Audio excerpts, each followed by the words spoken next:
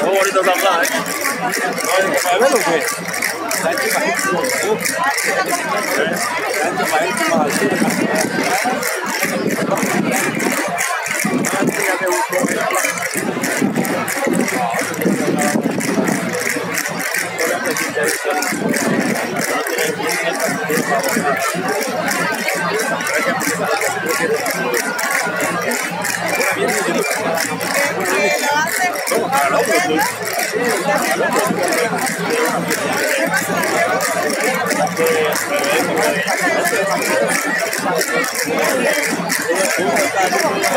Ik ga